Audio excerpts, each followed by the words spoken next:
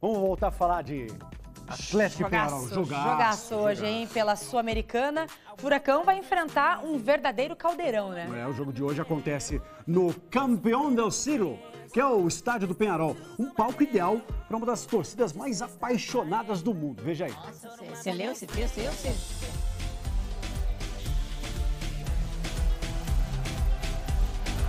A los 14 del segundo tiempo Paranaense, 1 Peñarol 0, Cirino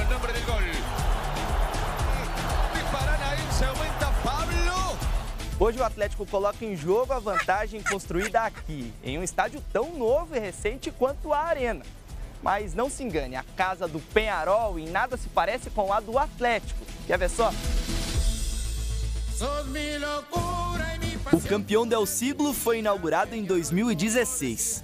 Cumpre as exigências básicas do caderno de encargos da FIFA, mas cadê a cobertura?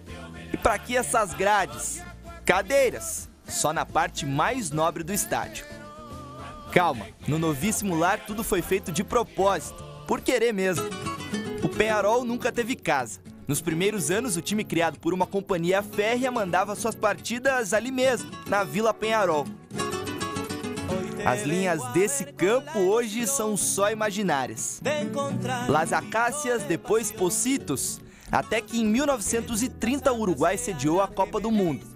O estádio Centenário foi construído e por ali o Penharol ficou. Ganhou o título, se tornou um gigante. Mas a casa era pública, tinha que dividir, algo que não era só seu. Em 2014, o sonho de todo carboneiro começou a sair do papel. E em dois anos, a um custo total equivalente a apenas um quarto do que custou a reforma da Arena da Baixada, o campeão del siglo nasceu, foi inaugurado. Qualquer semelhança com o centenário não é mera coincidência. Aqui o Penharol manteve sua tradição de torcida forte, uma arquibancada que torce à moda antiga e que se recusa a se entregar ao moderno.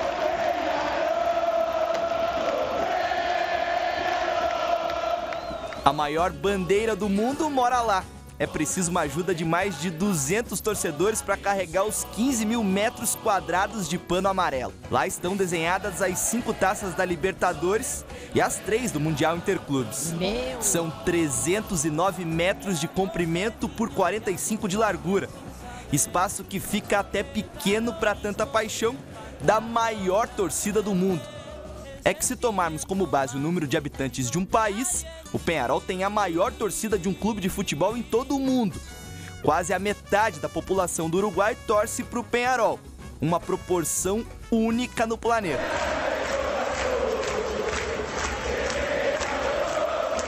Para os mais céticos, a história não entra em campo. São 11 contra 11 e nada mais.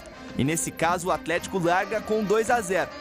Mas para o místico Penharol, não custa se apegar mais uma vez a esse ambiente de forças supostamente ocultas. É, vai ser difícil. E daqui a pouco a gente mostra a escalação do Atlético que vai ter que suportar essa pressão aí. É isso aí. O que você achou dessa torcidinha aí, ET? Achei pequena a torcida. Achei, já, vi, já vi torcidas maiores. Ah, já vi. tá, entendi. Ó, Vai falar do Inter, né? Boa Esporte. Já vi torcidas maiores como Luverdense. já vi torcidas maiores como. Enfim, se eu me recordar É, agora. viu, aqui, deixa eu te fazer uma pergunta. Qual que foi o migué que você deu ontem pra não vir trabalhar? Com esfarrapada. É morte de bisavó, né? O mais. Ah, entendi. É, Você já amor. matou todos os avós, que não tinha bisavó ano. agora É, que morreu. é. A, melhor desculpa é morte E meus bisavó. pêsames, então. Olha lá. Santos, lembrando, né? O Guilherme de Paulo lembrando aqui que a dupla de zaga nova, Léo Pereira e Zé Ivaldo. Vocês vão ter trabalho, viu, amores? É. O Renan Lodge, o Jonathan nas laterais, meio de campo Lúcio, Rafael Veiga, né, o Bruno Guimarães, Marcelo Cirino, Marcinho e Pablo. Quem sabe descola um golzinho essa turma aqui também lá, Exatamente. né? Seria um golzinho bom. já torna o caldo dos caras. É, ó, hoje é 7h30 o jogo, amanhã, claro, todos os detalhes É aqui no show de bola. 7h15. Acho que é 7h15, hein? É 7 É, eu acho que é 7h30. Não É se atrase, 7h15. porque eu sei que você tem que trabalhar. É 7h15, Bom? é 7h12 o jogo hoje.